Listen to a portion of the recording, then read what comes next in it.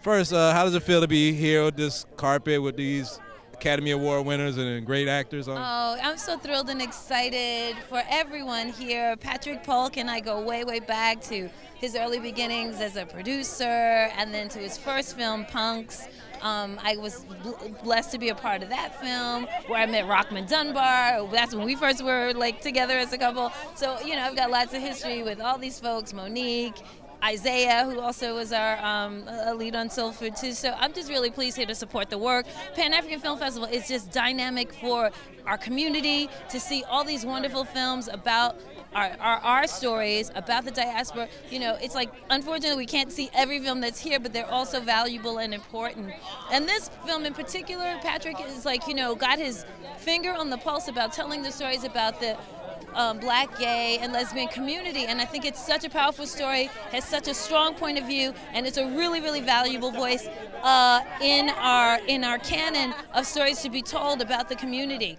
And um, this strikes really at the heart of a lot of issues that we need to deal with and, and meet in a loving way and have a conversation about and just really heal.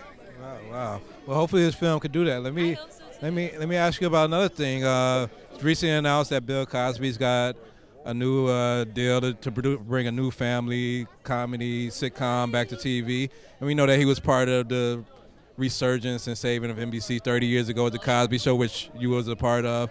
How do you feel about Bill Cosby having a new show on TV? And do you think the audience that's loved the Cosby Show will be like just as receptive and waiting for this? Absolutely, we're hungry and thirsty for images of ourselves always and family. I mean, I'm still getting mad love for the family we played on Soul Food, for the work that I did on on the Cosby Show. People are still quoting my lines of Jade Marsh. I mean, like those were iconic, you know, messages and stories, and it really changed. Um, the society at large. You know, it, it told and showed um, a depiction of the black community that all of America needed to see and elevated us in a way that you know that really um, that really nurtured what everything that we needed to grow in terms of our own identity, our own ideas about ourselves.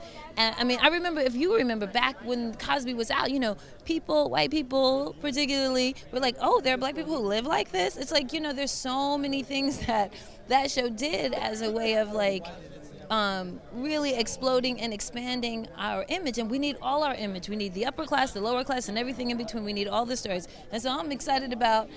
Uh, Mr. Cosby doing another project because that's more work for me on the definitely, real. You know, like, definitely. So, but for all of us, and, and then I mean, whether I work on it or not, you know, um, it's really uh, about being able to have more images of ourselves. I mean, when I was a little girl, there weren't all these images of black people on TV. We used to run and be like, hey, there's somebody black on TV, let's see them. And now we're getting all these different versions and, and of ourselves. And that's what, you know, who we are and speaks to our humanity to have all these different, because not one, not one thing fits all. You know, all these different there's as many different ways of being black as there are black people all over the diaspora, which is wonderful. Again, I bring it back to the Black, uh, the Pan African Film Festival that we get to see those different kinds of stories that are happening all over the globe. Yeah, we get to see all these different kinds of stories. You know, from black in Cuba to what they're doing, you know, in Nigeria, in Ghana, and how we're different, but at the heart of it, how we're all the same. You know, so it's important.